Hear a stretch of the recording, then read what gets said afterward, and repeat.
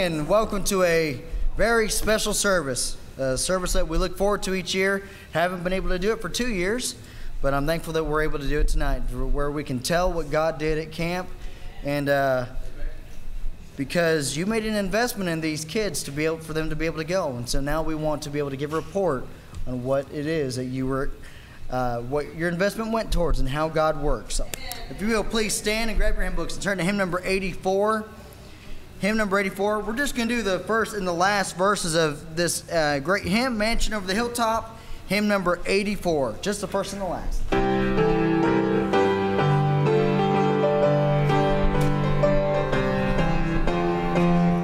I'm satisfied.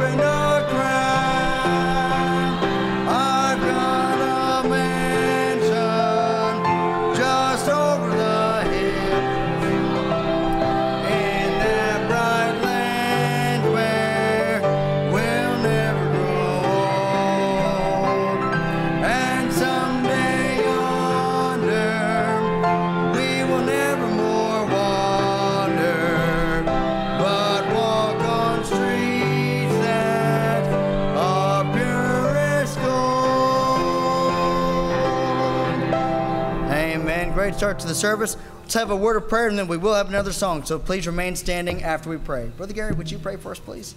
Yes, Heavenly Father, we thank you again for the opportunity to be in your house tonight. Father, we do uh, thank you for the camps this year, that they were able to go first of all, Father, that, uh, uh, that it was a good camp and that they had uh, uh, traveling mercies there and back. And Father, we just thank you for our young people. We pray for all your blessings upon them. We're looking forward to hearing from them tonight. And, uh, Father, they are a big part of this church. And we'd like them to know that. And, and uh, Father, that we love them and we support them. And uh, it's just good to be here with them. We pray, Father, that you bless our services. We ask it in Christ's name. Amen. Turn to hymn number 55 now. We've got a couple songs tonight, so hymn number 55. We'll again just do the first and the last verses of this one. When we all get to heaven, number 55.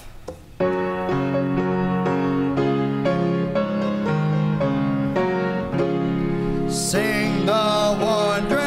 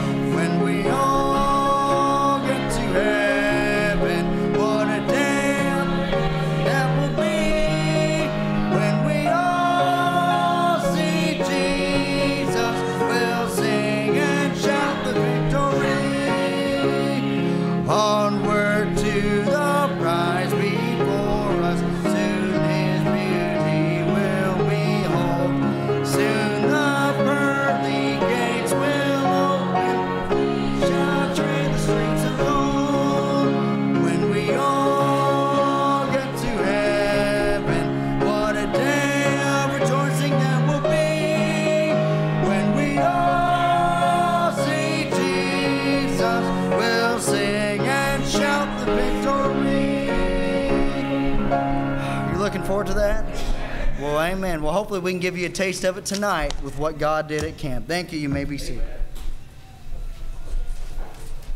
It is not my custom to be a part of this service. I like to sit out there and listen to it. And uh, but tonight there's a couple of things I need to do. Uh, we have a fish fry coming up next Saturday. Uh, start cooking about 10:30, eating around 12. Uh, I've got the guys, or I say I got them. They know what to do. They're already preparing for it. They're going after the seasonings and the, all that stuff uh, shortly, tomorrow, the next day, whenever it is, in the rainstorm, you know. Uh, but we have this slight, slight, minute problem. One of our gentlemen, by the name of Doyle Patterson, graduated to heaven this year, and he is missed in my life and in our church. But we've always used his fish fryer in order to do this, and he's gone. And uh, so we know where to get the fish fryer. Not from him, but we know where to buy one. And uh, I talked to the guys that are going to put this thing together and get all the stuff, David and Gary. And we said, well, uh, we'll just go buy it. And if the church don't want it, then we'll buy it ourselves. And I thought, how are we three going to split a fish fryer? Amen. So yeah, I know. Well, I guess we're all going to David's, and he's cooking every night, and we're cooking. But uh, we can get one of these fish fryers, and honestly, I don't know how much. I have looked at them, but I don't remember. Uh, at uh, Buc-ee's truck stop, they sell exactly the same fish fryer. I know, I know. So uh, I want to buy a fish fryer. I already got a motion. I got a second? In favor, raise your hand. We're buying a fish fryer. And then after we're done, huh? after we're through with it, we'll clean it good and then we'll store it and then we'll have it whenever we want it, whether we use it in the fall for anniversary day or on our uh, annual fish fry. So, uh, Brother Gary, if y'all go get that stuff, if you want to go buy Buc-ee's and buy one of those, go right ahead on. You, you have permission. Amen. And I'll just keep that out at my house. You have it, my mother's Zach. Oh, wait, I got one more thing. When we get to testimonies, I've got a lot of our teenagers are going to give testimonies. Some of our ladies are going to give a synopsis of what the messages were. And then under testimonies, I have Miss Darla, Miss Kate, Miss Sharon, Miss Callie. Now, I don't know about Callie. I do know about the rest of them. Callie has four pages of notes. In order to keep it short. Two minutes. Two minutes. Three? Zach said three? Wait, If he says two, go with two. three, and Maggie's not speaking, so we split her three minutes. No, no. Three minutes and you're on the clock. No. Three minutes. You said two minutes, so I, I say two minutes sounds great. You know, we just we just witnessed something I never thought I would see in any Baptist church. Never thought for a million years. We just voted on food. I thought food was just kind of a done deal. That's why I gained 50 pounds right after I moved here. All right, let's grab our hymn books, turn to 204. Please stand with me again, do the first and last verses. That's what this uh, service is all about. To God be the glory. And so we're going to do the first and last verses of 204. To God be the glory.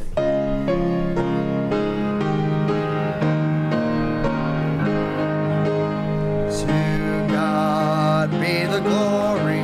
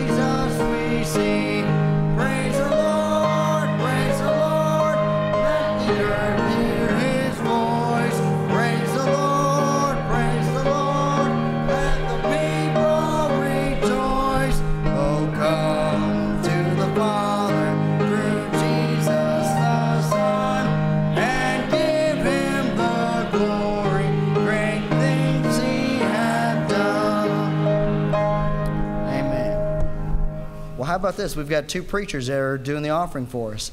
I want to say thank you to both of these men for taking care of the services while we're gone. Brother Irwin, would you pray for the offering, please? Father, we thank you for this day, Lord. We just ask that you bless your over and guide and direct and be with the youth, Lord, as they share their time they had at camp, Father, and the way the things that the Lord taught their hearts. We just ask, Lord, that you be, uh, you bless this offering, Lord, to be used for the honor of your kingdom, and be sufficient for all that needs. We ask this in Jesus' sweet and precious name. Amen. If you are giving a testimony, please go ahead and come on up to the choir line.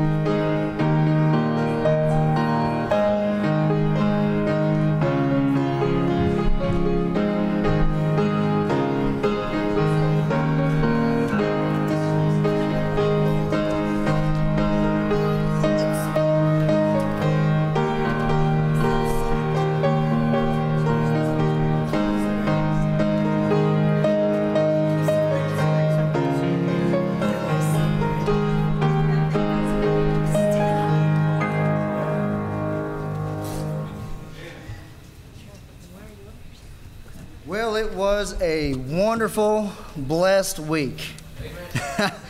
My goodness, you know, I had revival just going up to camp. Once preacher got in the van and started driving, I was praying the whole way there. He didn't hear me. Either way, uh, do thank you for your prayers. Uh, again, we had a little bit of trouble getting up to camp, but you know what? Preacher and I had a good time. Once we got everybody out of the way, we didn't have to watch a single kid on the way up. And we thought, this is great.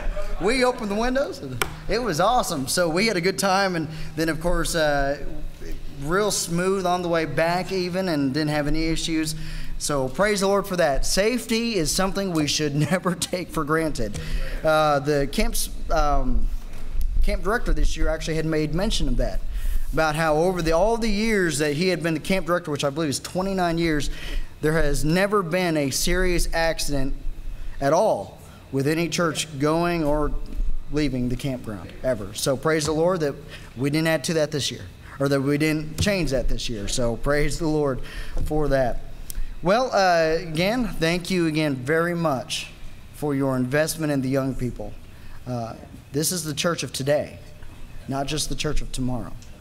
And it was awesome seeing God get a hold of them. Promised I wouldn't do that. Ah, I've been fighting it all day. But it, it, it really was a special time. Well, first thing that we're going to do is we have a couple that are going to give just a summary of some of the speakers.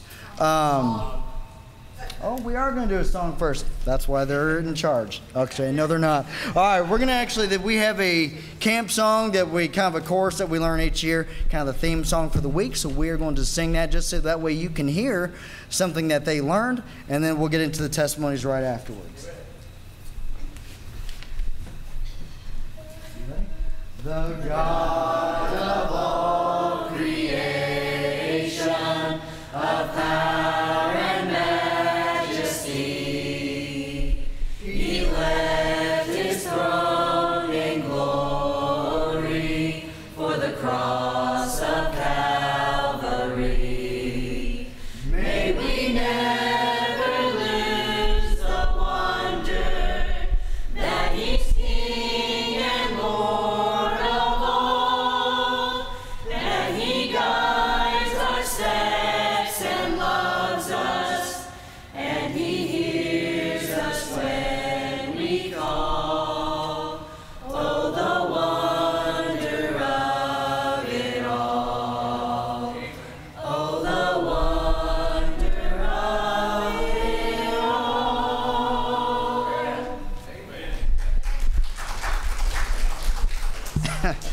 that was camp for you right there. If you want to how it went, that was how it went. God just showed up. Amen. You know, we can take that for granted. But whenever we go up to a mountain where I've heard it said if the trees could speak, the things that they would say at the camp it was the 75th anniversary of the camp this year. The thousands of kids, tens of thousands, I would say, that have gotten saved over the years. surrendered to preach. If any of you know who Sam Davison is, he was the he surrendered to preach up there at camp. That very campground. As a matter of fact, I can show the spot where he surrendered his life. We had some kids do that this week. Maybe one of them will be the next brother Sam. Well, let's hear what God did. So, Aiden, I believe you're going to start us off and just uh, give again the summary of the first speaker, which was you, he's going to do Brother Stephen. It's all right.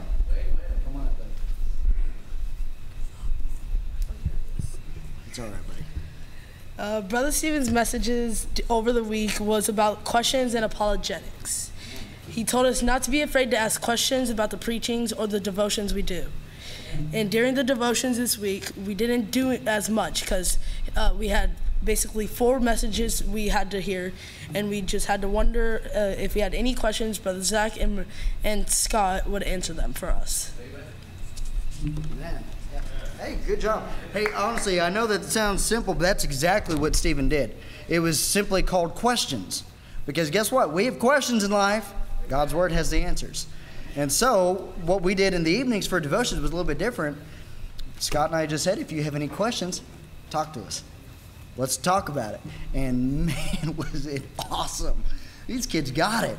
They didn't just hear it, they got it. So it was exciting. And so I, told Brother Stephen about that. He was all excited to hear that, the, how the kids got a hold of it. And Brother Stephen just did a phenomenal job. It was marvelous.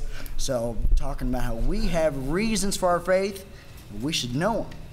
We should not be afraid to ask the questions that help us get that knowledge. So, good job, Aiden. And Miss uh, Darla is going to do uh, our missionary speaker this year was Brother Mike Adore to Mexico. Amen. Okay. So, a couple of things that stuck out uh, about missionary um, my uh, brother Dor is his humbleness. Um, extremely humble man of God, a broken man of God, a compassionate man of God. You could tell that he really loves God and he loves people. Um, there was.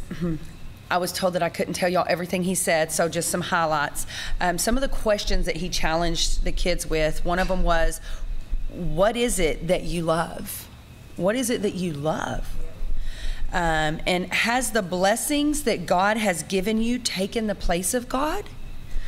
Um, that one really made me start to think: Has the blessings that God given me has have I allowed those blessings to take the place of God Himself in my life?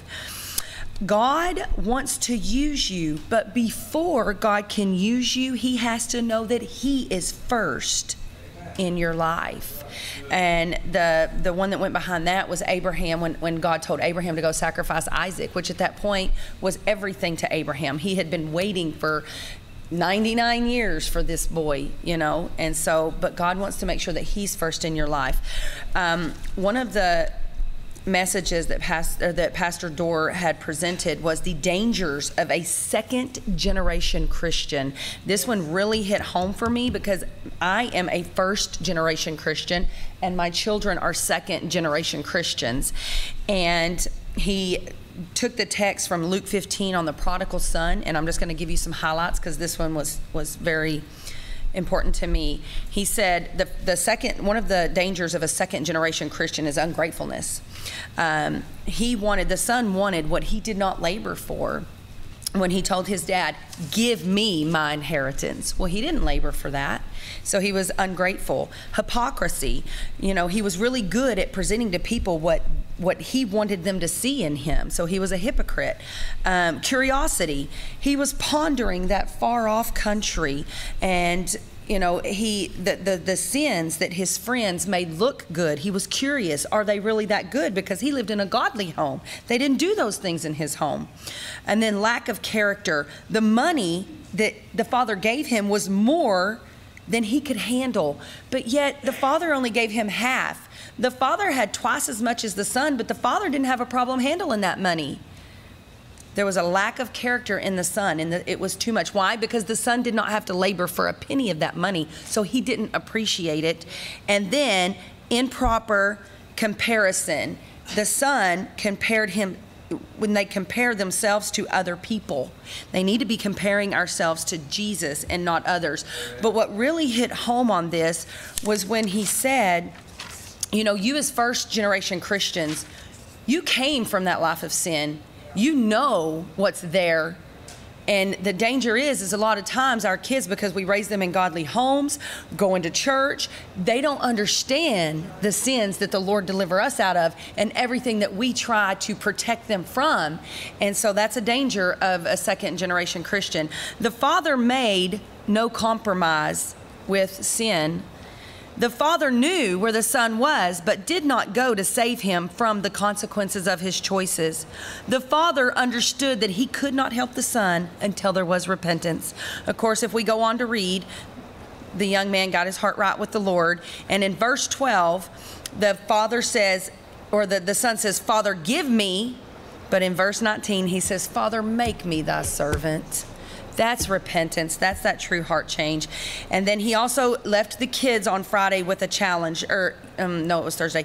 The most important thing as a Christian, which is verse uh, Psalms 24 7 that I will dwell in the house of the Lord. You don't need X, Y, and Z from the world. You need God's presence. I had more, but I have to go, y'all.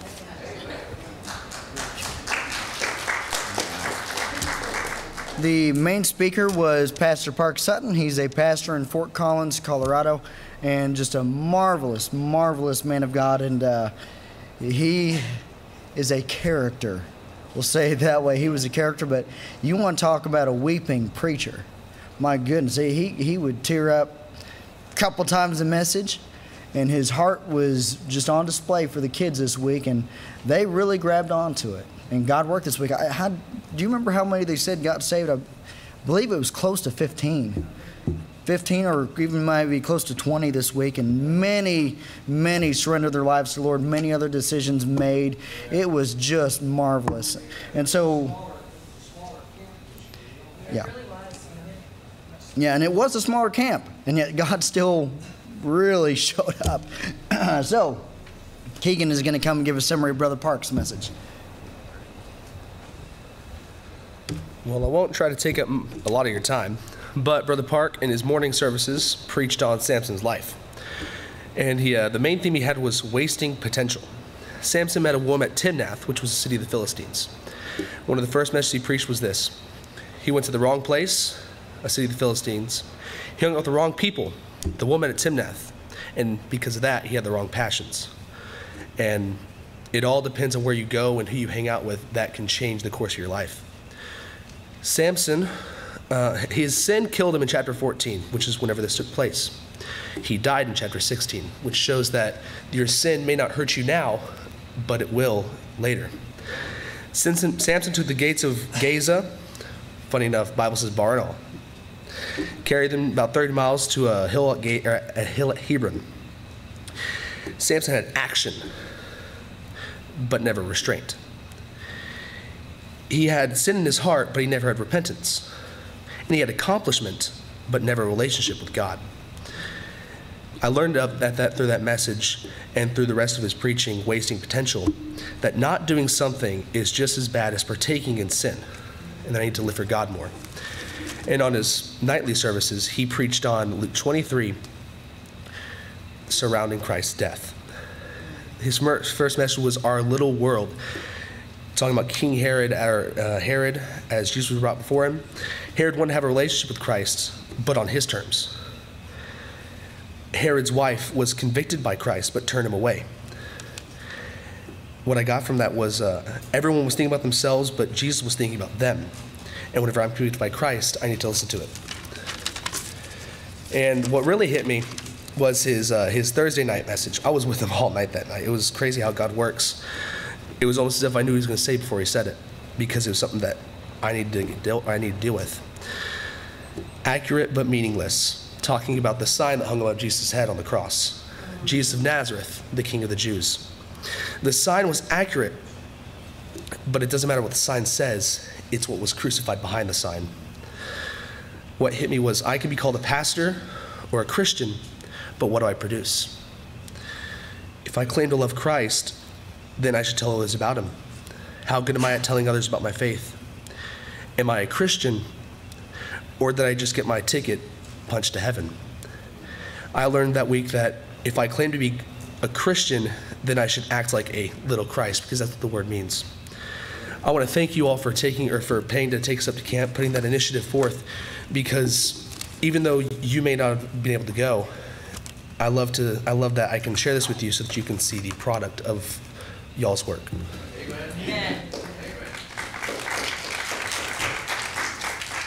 All right, so that is a summary of the messages. But really, it's not just the messages that matter, it's what happens as a result of the messages. So at this time, we're going to have quite a few testimonies. I'm not going to come up and introduce each one. They have a list, so if you all, all will, just whenever it's your turn on the list, just come right on up, okay? And I believe our first one is Miss Lexi. Amen.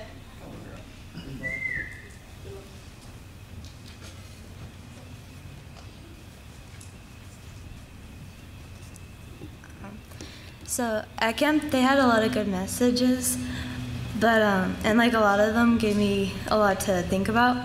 But one of the ones that stood out to me was where we were told that when we were praying, we should ask what God wants, and that made me realize that a lot of time when I pray, I say I want, and I don't ask Him what He wants.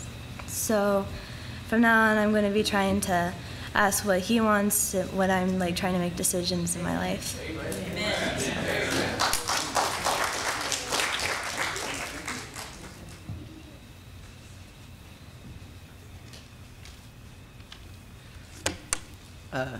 Hello. Okay. All right.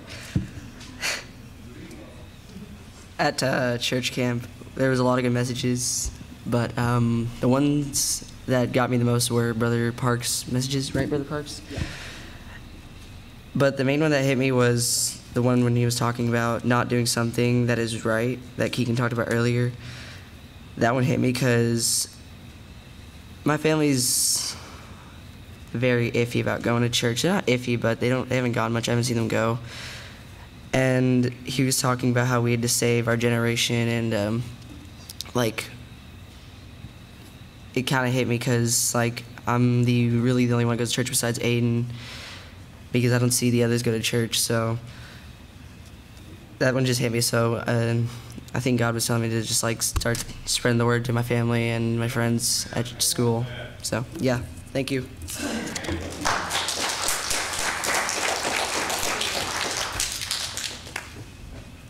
Uh, morning. So um, I missed the camp shirt memo, so I don't have mine on. But uh, I, Brother Park, like Ethan said, really hit me here because I was being a, I was saying I was a you, but I was acting like a them, and he didn't touch up on this when he did his summary. Basically, I was saying I was a Christian, but I was living in the world, living by world standards, and it was wrong of me, and I found the wrong places and I was with the wrong people and up on up at church camp I've decided that I was going to abandon that to remove that from my life and I have since I've came back I've removed those people and it is lifting uplifting and I feel better I feel whole I feel my banner above me says Christian and I want it to stand when I, people see me that they say that they see a Christian they look at a Christian they believe I'm a Christian and that is all I all I want, and uh, I know that God has pushed me in the right direction, and I'm ready to see where He takes me from here. So.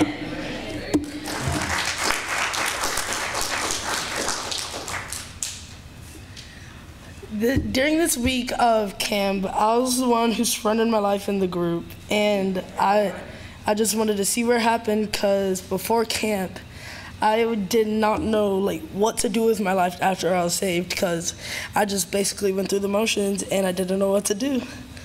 So I hope seeing where what will will happen from here and just gonna go with it because I don't know what to do after I, I had to, got saved and I didn't know what to do with my life and surrender my life and wondering what's God's plan for me coming up.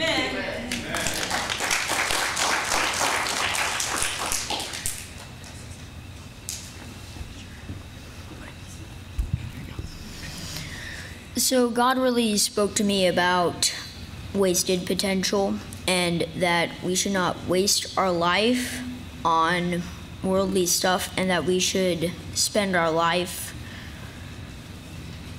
in His Word and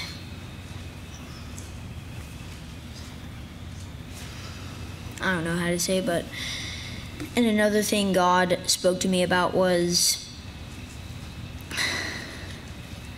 that I need to act more like a Christian and not just say I'm a Christian. So.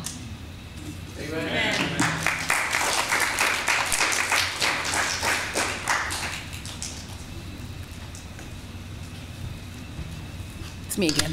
So, um, I just truly want to thank each and every one of y'all. Yes, sir, preacher. No, no, put that down. That's negativity. I'm going to reject that.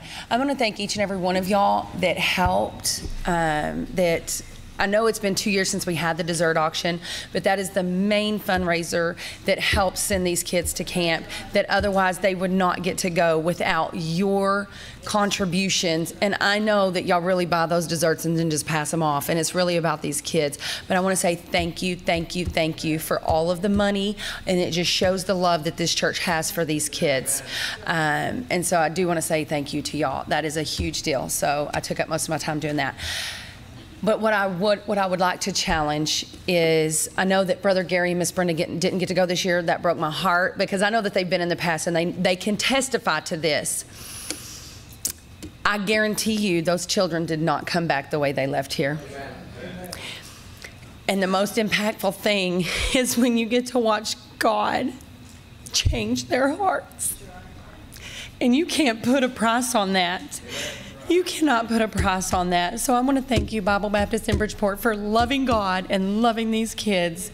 And I encourage you, if you ever want to go and see some God work, go. Because they did not. It was over the week. You just started watching Monday, Tuesday, a little softer. Wednesday, brokenness. Thursday, rejoicing. Friday, praise God. And I got to give this testimony. I've got to. We came in back there, Miss Rhonda Reed, wherever she is. Oh, anyways, we were so happy and hugging and loving. And my son, Alex, needs to go to camp next year because he goes, What's wrong with you people? I said, Alex, we went to church, we went to camp, we got our hearts right with the Lord, and we just loving on each other. Well, not me. And I said, Come here and give me a hug. He goes, Get away from me, mom. And so we had a hug fest with Alex. So just I'm just saying, thank you, thank you, thank you. These kids did not come back the way they left. Thank you.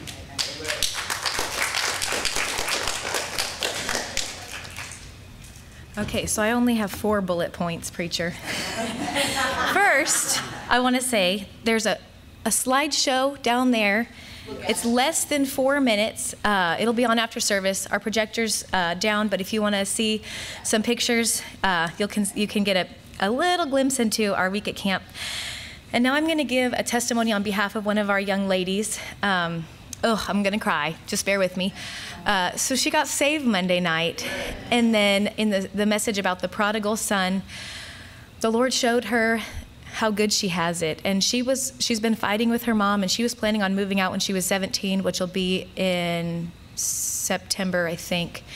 And um, the Lord just convicted her and said, "You're safe right where you're at. You're you're where you need to be." So she texted her mom and she said, "Mom, I'm sorry. I'm gonna stay at home till I'm 18." And um, I just I just rejoice in that because that the Lord's the one that heals families. And um, we had another young lady that said that uh, brother, one of Brother Park's messages was about taking accountability for yourself, for your actions. No matter what has happened to you, um, we can play the blame game and say, well, because of this, I'm angry, or because of that, I'm, you know, don't like whatever. And um, he said, you just need to take responsibility. He said, because God can't do anything for you if it was someone else's fault. But if you take responsibility, God can do it all. And she said, I learned to, to take ownership. I learned to quit blaming. Y'all, that's huge. That's bondage. That's freedom from bondage. And my third point is uh, the campers were incredibly respectful. There was not an ounce of drama. There was no complaining. It was just incredible. Even with all of us having to get in one van and Uh, y'all should have seen Keegan in the back seat of the van. I'm just saying. Um, in fact, I think there's a picture. Um, they were just awesome. It was they were wonderful to uh, work with, and we got to Miss Darla and I got to adopt three other girls from a, a, different church. I didn't have a counselor, and one of them got saved, and one of them uh, got her heart right with the Lord, and one of them decided she was going to be a testimony at school. It's just awesome. It was just awesome, and. Uh, Miss Darla volunteered me to sing a solo for the girls' choir. Brother Mark was asking for a soprano, and uh, I didn't know he wanted an improvising soprano, so I gave it my best shot. The song we sang and the verse I sang was, I don't know about tomorrow. It may bring me poverty, but the one who feeds the sparrow is the one who stands by me. And the path that is my portion may be through the flame or flood, but his presence goes before me and I'm covered with his blood. Many things about tomorrow I don't seem to understand, but I know who holds tomorrow and I know who holds my hand. And uh, the Lord just wanted me to dwell on that, and I'm so thankful. And so thank you, church. Sure love you. Amen. Hmm, not fair to have to follow Miss Kate. First of all, the trip up was great. I had a chauffeur that didn't, didn't talk back to me. and he was excellent. He, I was in such great, I was so impressed with his humility and with his respect and with his confidence. Out, preacher. I'm coming for job.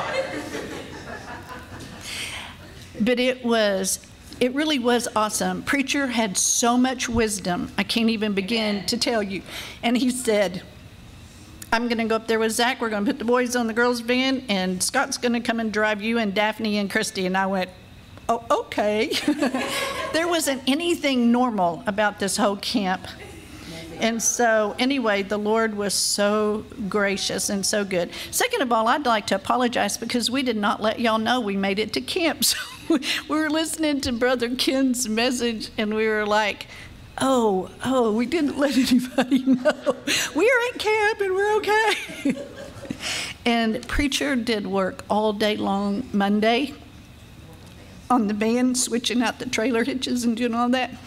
And Brother Carter, I guess, did something Tuesday night or whatever that I don't know that he's ever done before, but he thanked all the van drivers and the mechanics and all the people that were responsible. I told my husband, I said, I don't think you've ever been honored for that before. but it's the truth. And it is important. Every part of everything that happens and goes on. And um, I want to thank Brother Ken and Brother Stephen for the incredible, amazing messages that, and for the fact that we can even get to listen to them now because we get the YouTube.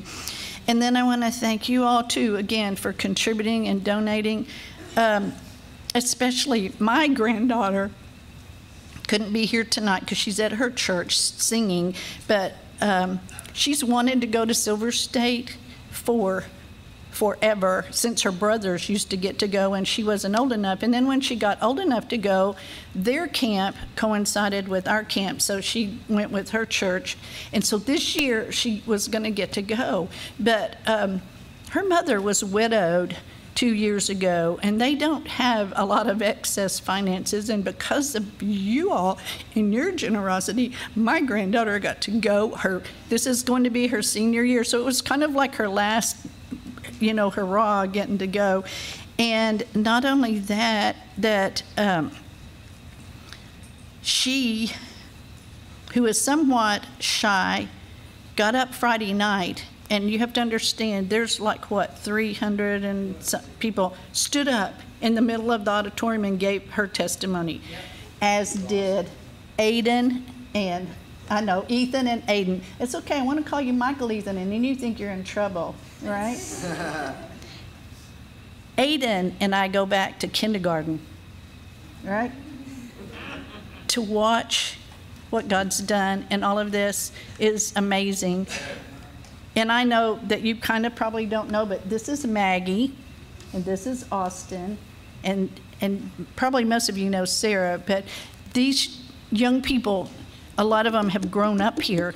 It's important. It's a big deal. They come. They're not made to come.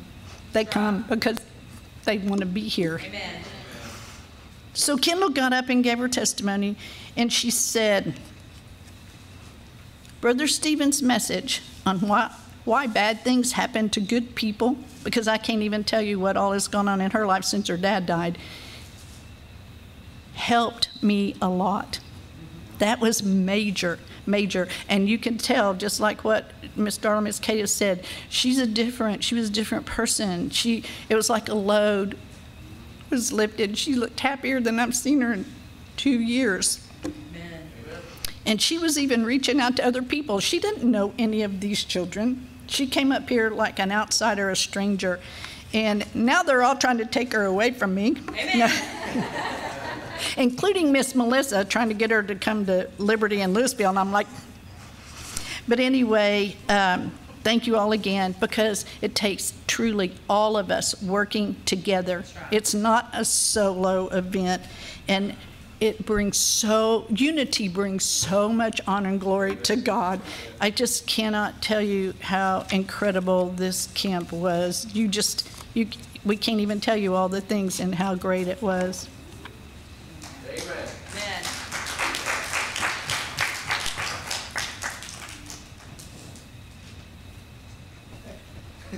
What?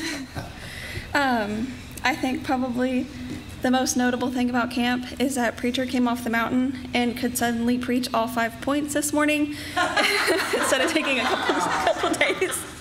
Um, and um, they they said three minute limit. Um, I have two pages front and back, um, but I can't read right now because I'm too nervous. So I had never been to a church camp before, um, so I went up a little selfishly. I was excited to get to work with the teens and hopefully be an encouragement to them. But I was also excited to see what God had for me up there because I'd heard so many awesome testimonies. Um, and He had something for sure. Um, by Tuesday night, I was super convicted. Um, and I was talking to Scott um, about how I knew that God was trying to tell me something, but I was coming up with all these excuses. Um, how I didn't want to make a commitment because I've, I was worried that I'd break that commitment. And Scott was not very impressed with any of my excuses. And I know that God was not impressed with any of my excuses. And so we go to um, Hillside the next morning, and Brother Micah's message was on um, your heart's desire and how it was, it's pretty simple how our heart's desire should be that souls get saved. Like, that's kind of like a duh. Um, but it, like, it really stood out to me because um, there are so many people who are out there trying to live right and they have the zeal, but they don't have the knowledge. Um, and they just need someone to share that knowledge with them. God just needs a willing person um, to go talk to people. Um, I was one of those people before um, Darla led me to the Lord and I got saved. And then, so I got slapped around a little bit on the hillside. And then we go to Tabernacle, and Brother Park is preaching, and apparently Brother Park made a very big impression on everybody here. he is, he's a, he's very loud, um, and he really like kind of gets in your. You're sitting way in the back, and he's like right in your face. Um, but he was preaching out of Judges. His whole week was about uh, wasted potential, but he was talking about how Samson was making.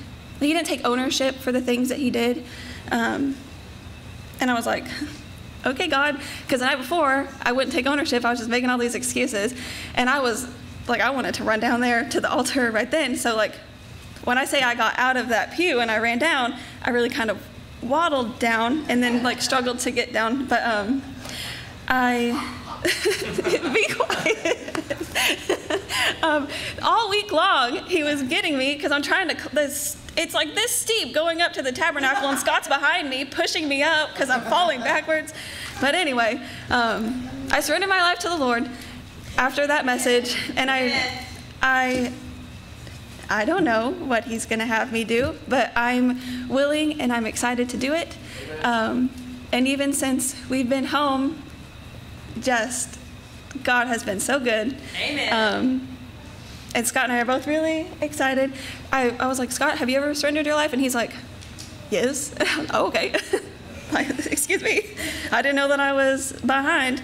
Um, but it was also awesome to spend so much time with the teens because Scott and I go out there on Wednesday nights. I'm sorry, I'm over three minutes. I know it. Um, but Scott and I go out there. Oh, Scott's the only one left. It doesn't. Okay.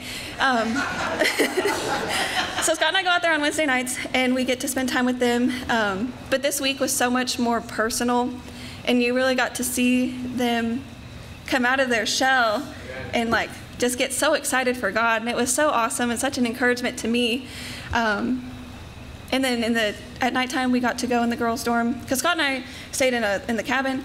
Um, I thank you for that, by the way. Um, but we got to go to the girls' dorm and do devotionals with them, and getting to hear their hearts like it was just there's no words besides awesome. Seeing God work on the mountain, and just my prayer is that the the excitement that everybody has coming off the mountain, we keep it until hopefully we get to go back up on the mountain. Amen. It's not like we go up to get that encouragement. We go up like ready. You know, we're still there at that same place. Um, but just thank y'all for sending us and for praying for us. Um, preacher is a terrible driver. we were behind him. We were behind him in the girls' van coming. Well, it was the everybody's van coming up the mountain, and he's got the trailer in two lanes going around the curves, knocking cones off the road. yes, you were. I, I had to I had to close my eyes because I was ter- it was raining and I couldn't watch him anymore. Um, I feel I was like I bet Brother Zach's stomach hurts so bad looking in the rearview mirror and cones are just popping off the road. Um, revival happened on the way. yeah. he was scared for his life. I was scared for mine. Scott's behind us and it's raining so bad and preacher has bad windshield wipers and won't get them changed. And but um, just thank y'all.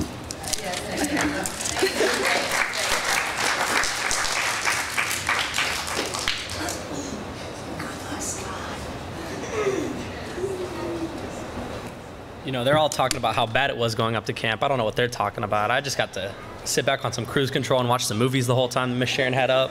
She got her little Bluetooth out. And um, I would elaborate more on that, but you know what they say: what happens in uh, Mimi's car stays in Mimi's car. So, and don't tell preacher she thinks it's her car. Um, no, but uh, all joking aside, it was a uh, it was a great week at camp. This is my first year um, transitioning from a camper to a counselor, so roles were different, but the messages were still as good. Um, I don't know, it was, it was awesome. God got to work in my heart. I got to watch it in every one of the kids, and just coming up here with the kids and um, just watching them bond together. Um, every morning there was a little uh, little time that we had, and I would take them up to the volleyball court. And as a church, uh, by ourselves, we would just play volleyball with them. And it got to the point to where even throughout the day, I had a couple of them like, "Hey, can we go play volleyball? Like, can we can we get together and go play volleyball?" It was just awesome watching them mingle together um, as brothers and sisters. That was awesome. Um, I can't believe no one talked about this, but um, the main part of Brother Park's messages um, those mornings was Samson and how he went from potential to pitiful, how he was a man of God with the Nazarite vow um, to a man with his eyes gouged out, alone by himself because he was selfish. And um, he brought a man up by the name of Brother Josh. He said, Can I see your wallet? And um, he took his wallet. You know, he's looking through it. The kids are laughing, having a good time watching this preacher go through a guy's wallet. And he finds the money and he's showing the kids. And um, he takes a dollar bill out. He's like, What can you do with this dollar bill? And um, he's like, You can buy tacos with it from Taco Bell. Um, you know, you can get a drink with it and whatnot. He then pulls out a lighter and burns it. And the kids are like freaking out that he's burning a dollar bill. Um, and you know the kids are loving it, enjoying it, and watching it. And um, he's just got he's got the whole audience captivated at him burning money. Pulls a five out. What can you buy with the five dollar bill? He says the four for four at Wendy's. He starts naming off a couple other things. Burns it. Throws it in the trash. Gets to a ten. What can you buy with a ten? They start naming different things off. He takes it, burns it, throws it down, pulls out a 20, and this is this is a man's this is not his money. This is a man's wallet. Pulls out a 20 and goes, "What can you do with the 20?" Kids are freaking out at this point. They're saying all these toys that they can buy, these Lego sets and everything. Takes that 20, burns it, throws it in. Pulls out a $50 bill. Says, "What could you buy with this?" Kids kids are going rampant at this point. They- They're like, "Give it to us, give it to us." He's like, "You want me to give it to you?" He's like, "No, no, no." Burns it in front of him. And then he goes, "Listen, depending on what you do, your life, you can go from this potential to pitiful. Um, and it got real quiet. You could you could hear um, you could hear the quietness, and um, the kids ponder what just happened. Um, and that's what happened with Samson. Um, he didn't have the restraint, as Keegan said, and um, as Brother Park put it, it would have taken more strength to say no to that woman than it would have to rip those 8,000 pound um, bars and um, taking them 30, 40 something miles and setting them down on top of a hill. It would, it would have taken him more strength to say no than to do that. Um, and we had a great time up there with the kids, um, just with them illustrations. Like, um, for instance, Samson, it talks about how he ripped a lion in half as he would a, a kid, and a kid being a goat. Now, I don't know about you, but what kind of person do you know that just naturally rips a goat in half? Like, let's be honest here. Um, yeah, great point. and it's in the Bible. It, it says that. It says he, he ripped a lion as he would rip a goat. Like, who, do, who does that? Be honest. Um, but no, it was awesome. And um, another illustration that really hit home was um, one of Brother Doris, Um, Callie talked about it in her message, um, but there was a revolving theme around being selfish and how Samson was selfish, um, and just how we need to take action for ourselves.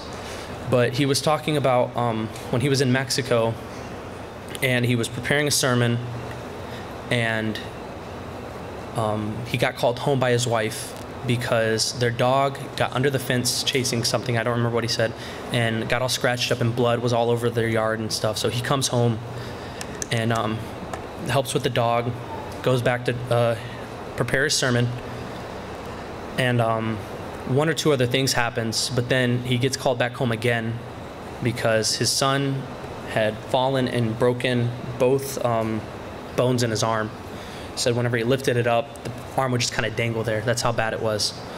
Um, so he goes. He's writing a sermon in the um, in the ER. They, they've got to wait for him to get taken back.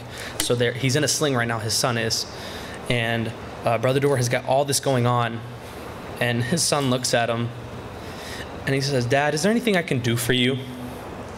And he looks at his kid that's going through all this pain, and all he's thinking about is himself. Um, you know, with the dog and with this and with that. And he's too caught up in himself to realize that there are people that care for him, even when they're in need. Um, so that was that was a big thing right there, just a, a big thing that hit home, and it you can see it hit home with the kids too. But uh, we get so caught up in ourselves and our own problems and our own little world, as it was said, um, that even other people in need still care for us, and even if we don't know it, they still pray for us, and they're still there for us. So that was a that was an eye opener and a great illustration, by the way. Dad, is there anything I can do for you? Keep in mind, this is a little kid with his arm dangling, asking his dad that. Um, so it's just a great great illustration. Um, but no, we had a great time. We had a great ride up. Um, as Brother Zach said, no no major accidents, and that's that's crazy to think about over all those years that nothing major's happened going to and from camp. Um, and uh, God, God worked in my life. Um, he reass- reassured me on some things that, um, and actions that I should be doing.